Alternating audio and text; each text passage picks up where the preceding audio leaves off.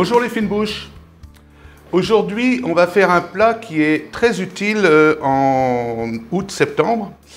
C'est un plat qui permet de récupérer éventuellement euh, quelques tomates pas tout à fait mûres ou en surplus.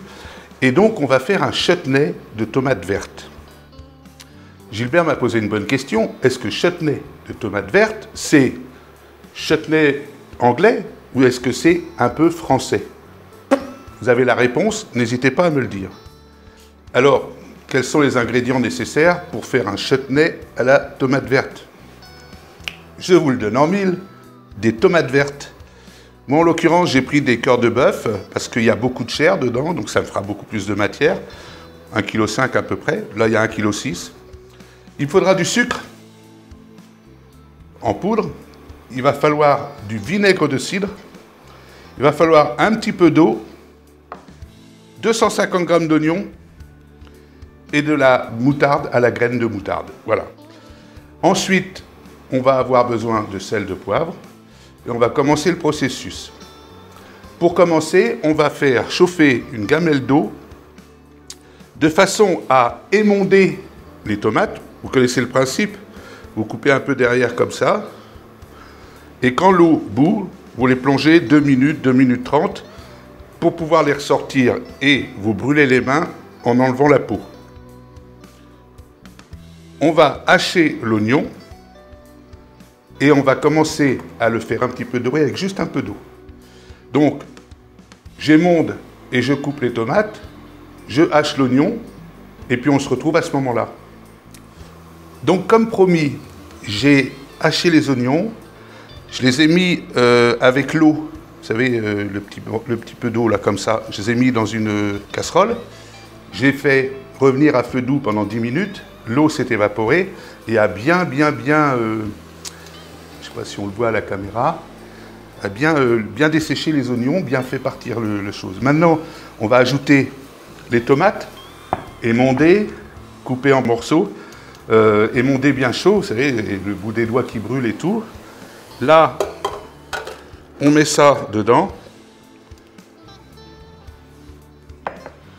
On va mettre un petit peu de feu, pas beaucoup, hein, pendant 5 minutes.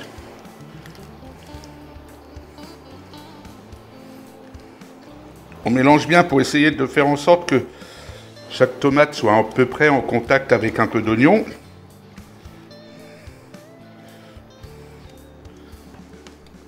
Donc ça, 5 minutes.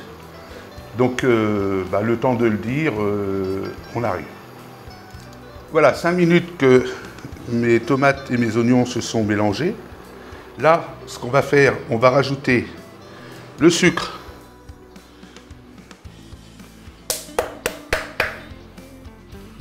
Et le vinaigre. On va même mettre la moutarde avant. Comme ça, le vinaigre, il va la diffuser partout.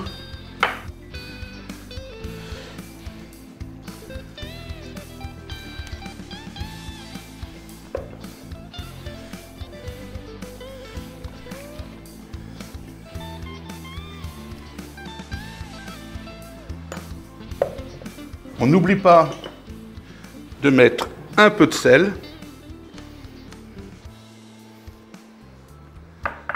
Et ça, on va le laisser monter. Dès que ça frémit, on met à feu très doux, 45 minutes minimum. Si c'est un peu plus, c'est pas grave. Donc on se reverra au moment de mettre en pot. Les amis, j'ai laissé cuire, euh, je vous avais annoncé 40 minutes, j'ai laissé plutôt une petite heure. Parce qu'en fait, les tomates que j'avais choisies étaient vraiment euh, dures, donc j'ai préféré attendre. J'ai laissé tranquillement que ça cuise bien, que ça euh, soit fondant. À la fin, j'ai mis deux, trois petits coups de fouet comme ça pour casser les deux, trois morceaux qui restaient gros parce que c'est pas intéressant d'avoir des gros morceaux, même s'il est très intéressant de avoir des petits. Là, on va couper et tant que c'est chaud, on va commencer à mettre notre chutney en pot. On va fermer et on retourne. Et on fait pareil avec les gros pots. Ça, c'est selon si vous souhaitez en utiliser beaucoup à la fois ou pas. Les petits pots, c'est pratique parce que vous faites juste un petit repas, vous sortez ça pour mettre sur des toasts ou pour euh, accompagner. Moi, j'adore ça avec la, viande blanche, euh, une, morceau de filet de poulet que je fais cuire à la poêle. Et après, je mange ça avec ça, c'est un délice. Un jour, j'arriverai. Ah oui, je suis droitier en fait. Et on tourne. Et on prolonge ça jusqu'à ce que tous vos pots soient prêts. Moi, je finis ça. Et puis, je confie à Gilbert le soin de nous faire une petite photo euh, de tout ça dans le temps que ce soit un peu refroidi. A tout de suite pour le revoir. Voilà les amis, chutney de tomates vertes. Maintenant, vous n'avez plus d'excuses. On ne jette plus une seule tomate. Elle est trop verte, vous faites du chutney. Elle est un petit peu mûre, vous faites une sauce tomate qu'on vous a déjà présentée en vidéo.